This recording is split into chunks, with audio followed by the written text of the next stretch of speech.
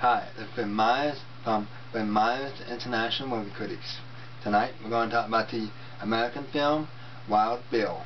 Wild Bill is a 1995 MGM UA distribution company distribution.